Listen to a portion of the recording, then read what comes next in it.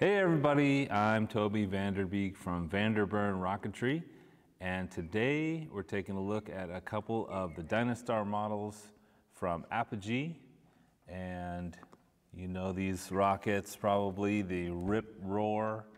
Uh, this is a two-stage rocket. It takes 24 millimeter motors. That's a lot of fun.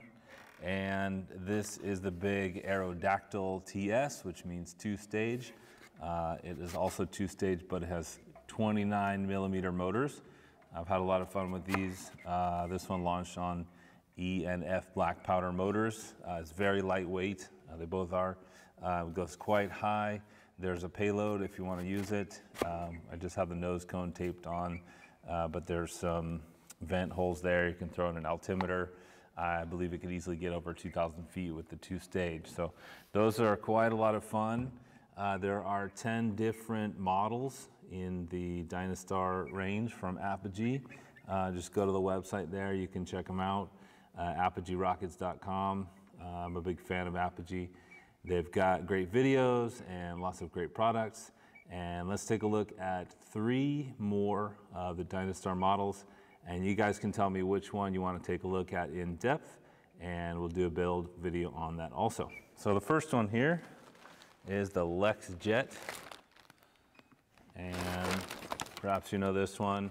Uh, they all kind of look like airplanes. Uh, this one looks fun with a couple of motors there and some nice features. Here's a picture of it right there. That's the LexxJet. And the next one here is the Orion.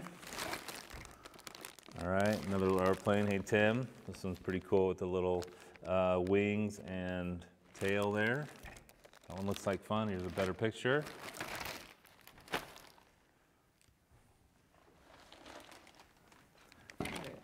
And the last one I think is one of the very popular ones, which is the Snarky. You guys probably know this one too. Uh, the Snarky has um, like a duct underneath and some wings, so it looks really nice like an airplane. Here's a picture. There it is, that's the Snarky. All right. So, uh, which one of these looks like fun to build? We'll work on that one next. Uh, you probably noticed something funny going on here. Um, I'm using a green screen to get that background and this uh, Aerodactyl is also green. So you can see it does some funny things with the background. But just to show you what it looks like, I'm gonna turn off real quick my, my chroma key, which is for the green screen. So there you go, you can see the green screen back there. Now you can see what the rocket looks like. It's a nice uh, green color. This is just the stock uh, paint you can check out here on the Apogee website. It looks the same. I pretty much painted it just like, uh, just like they did. And there you go. We got a couple rockets from Dynastar by Apogee. And let me know which one you want to take a look at, either the LexxJet or the Orion or the Snarky. And uh, we'll do a review on those in depth and some builds. All right, see you soon. Thanks for watching.